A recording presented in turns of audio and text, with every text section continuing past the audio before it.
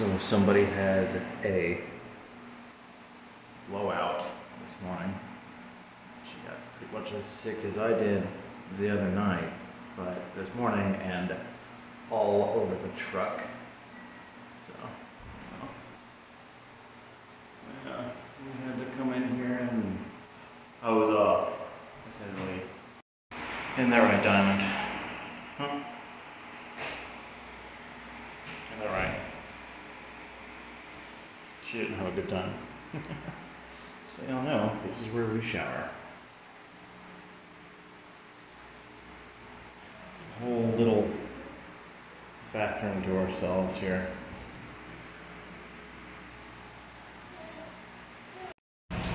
Currently have puppy pads all over my truck just in case because this morning is the first time she has ever had an accident in here. She seems to be really sick with whatever made me really sick yesterday. It showed me this morning just how unequipped I am to deal with a blowout, basically. So I don't have a mop. I have a lot of wet wipes. I basically went through 100% of them today, cleaning up messes. But and I, I put kitty litter all over the floor, hoping it would dry out some of the you know stuff. That didn't work, so I had to get creative. I used uh, I put body wash on the splashes of brown all over the floor, and then I put down her towel that's usually on the seat right here. Put it over top and then poured water onto it so that water wouldn't spill into the cracks of my floorboard or anything. Be soaked up by the towel. Basically used that as a mop and then I threw it away. It was disgusting and brown. Just like Diamond. My beautiful white dog was a nice earthy brown from the waist down this morning. She is now exhausted after having to take a shower. Just to give you a rundown of how showers work out here on the road, basically, anytime we go fuel, like we fuel at Love's a lot, um, when I fuel at the pump, I'll swipe my loyalty card, and every time I get 50 gallons or more, it adds one shower credit to my account. So all I've got to do basically is walk in there and tell them I need a shower, and if you don't have points, if you don't have a card or whatever, it's in here it was $16 for a shower. Where the cards come in handy. You gotta have your, gotta have your cards because you can swipe the card and it's totally free. Use, uses a shower credit that you get when you fuel. Then you saw what the uh, the nice shower rooms in there look like. So that's how we do it.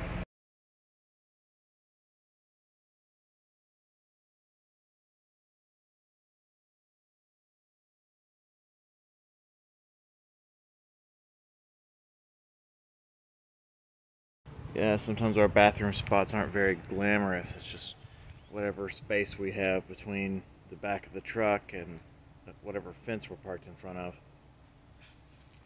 We are finally back on the road after both of us being sick for two days. And we are actually going to head back towards home. But we've got to pick up a load first. I just grabbed an empty trailer. Had to drive like 100 miles over here to grab an empty trailer. And then uh, I gotta go pick up that load and then we will be heading to Olive Branch, Mississippi, I think. No, not Olive Branch. One of the one of the northern towns in Mississippi. Dropping off there, and then we are heading home so I can take Diamond to the vet because she's still pretty sick. Um, she's she's up and moving around. She's doing okay, but um, think she might be running a low fever, just because when we go outside, and I said the word. Uh, she's been panting, even though it's. I mean, it, it. To be fair, it's 84 degrees. But even me, as uh, like a fat guy, who's sweating through this, I'm not like burning up or anything. It's a pretty mild heat. But she's panting like basically as soon as we go outside, and you know, uh, other other bodily functions aren't doing so great. So we gotta gotta take her to the vet. We're gonna we're gonna go ahead and make this trip back.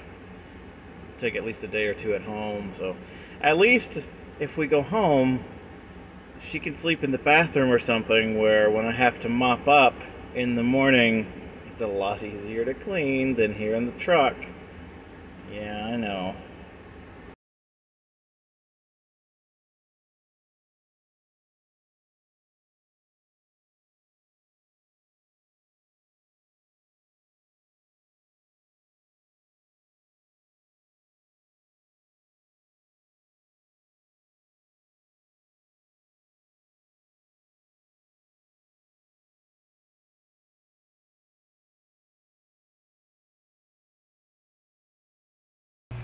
I am backed into a dock over here now, picking up this load that will take me back close to home. This is what's called a live load, where I am backed into a dock. I've got the green light, red light system, basically red light, green light, whatever. Where it's it's blinking green now, because they're they're not in there. But whenever it turns red, or rather they'll they'll turn the light red whenever they go into it, so that I know I can't go anywhere, or it could uh, it could hurt somebody. So whenever they're done, it'll turn back to green, and then I am good to pull out and go back and check in in the office and get all my paperwork and get on the road. I'm hauling water bottles, and it is very heavy, so we're gonna have to stop by a scale at a truck stop on the way out. A lot of highways too, so I am once again consulting the Atlas.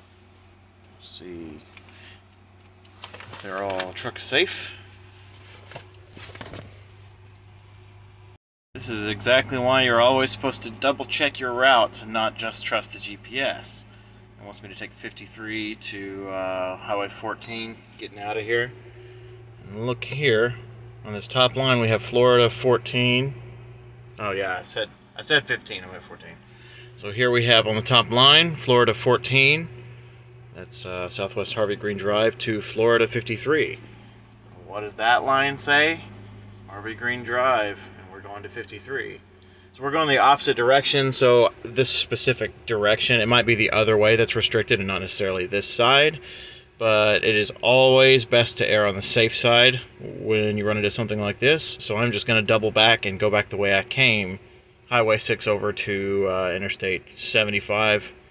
And I will take a roundabout way so I am right here at Lee, so I'm basically going to take a roundabout way. I'm going to go back the way I came, which was Highway 6 over to 75. I'll take that down to 10, and I'll follow that west. Now, these red dots are weigh stations, so they're going to check to make sure I'm not overweight on anything, which means I'm going to have to stop right here. There's a truck stop right before I get back on the interstate. I'm going to have to stop there and use the scale to make sure I'm uh, not overweight on any of my axles like I said, it's always best to err on the side of caution when it comes to these kinds of things.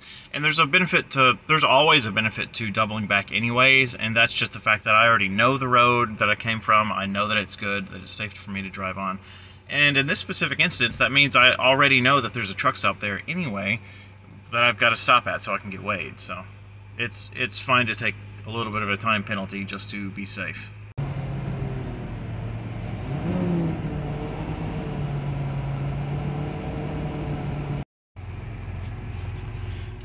My steer tires are under 12,000 and the other two axles are under 34,000, so we are good to roll. Didn't really like the way that the GPS was suggesting just because it's a bunch of highways, and uh, typically as a truck you try to avoid those and stay on the interstate as much as possible just to avoid red lights and extra traffic and all that stuff. So uh, I wanted to go here and double check the route and see if maybe I could come up with a better one than what the GPS was suggesting. Best way to do that is saying I'm starting where am I?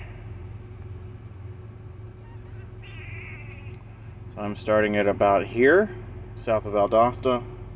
I'm going up here.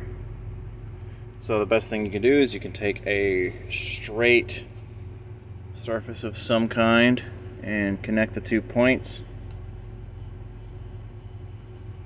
And just kind of follow it from there and see what the straightest path is that you can get back it up so we can actually see everything. Going, yeah, going right here. It turns out the way we are already set to go, which is here, going up 75 over to 82, all the way all the way to Birmingham, pretty much. Take 65 up into town, and then 22 all the rest of the way, which is exactly what I was going to choose for myself after looking at the atlas. Again, from bird's eye. The camera angle is not good. Starting about here, to go up, go 82 all the way over, Birmingham. I'm going to go up and over 22, and boom, that's about where I'm going, just south of Memphis. And that's pretty much exactly what it was already suggesting, so never mind. Just overthinking it. we wind up in some sketchy places for bathroom breaks sometimes, so definitely helps to carry a flashlight.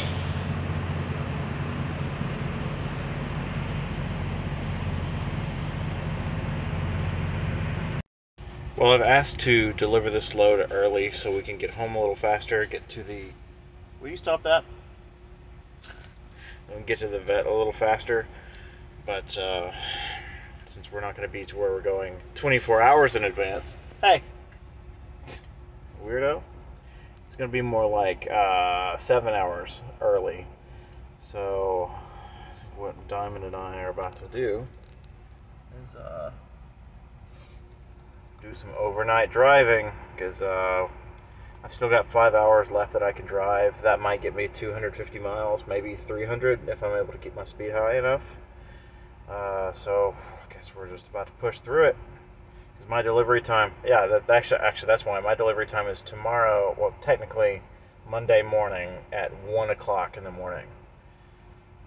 this, this is gonna be fun.